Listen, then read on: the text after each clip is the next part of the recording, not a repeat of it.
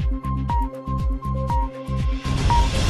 अमरावती जिल्ह्यातील नांदगाव खंडेश्वर येथील शेतकरी आनंद डकरे यांच्या मालकीचे शेत असून अठ्ठावीस जून रोजी आलेल्या अतिपावसामुळे काही दिवसांपूर्वी पेरलेले सोयाबीन हे खरडून गेले. सदर शेतालगत असलेल्या अरुंद लेंडी नाल्यामुळे हे नुकसान झाले असल्याचे दिसून येत आहे. त्यामुळे शेतकरी आनंद डकरे यांनी शेतालगत असलेल्या नाल्याचे रुंदीकरण व खोलीकरण करून देण्यासह झालेली नुकसान भरपाई देण्यात यावी अशी मागणी कृषी अधिकाऱ्यासह तहसीलदारांमार्फत शासनाला केली आहे. अति पाऊस आल्यामुळं आमच्या सोयाबीन पिकाचं नुकसान झालेलं आहे आणि शेतापासूनच लेणी नाला गेलेला आहे.